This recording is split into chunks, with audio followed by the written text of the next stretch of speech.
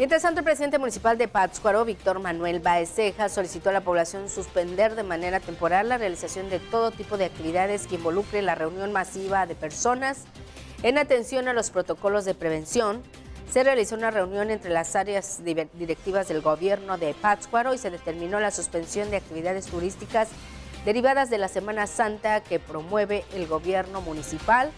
así como los encuentros culturales y tianguis artesanales programados con el fin de contener el brote epidemiológico del COVID-19 conocido como coronavirus.